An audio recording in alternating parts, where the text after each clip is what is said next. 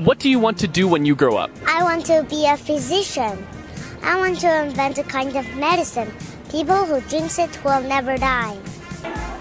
What would you want to be in future? I would, I would like to be a, a terrorist.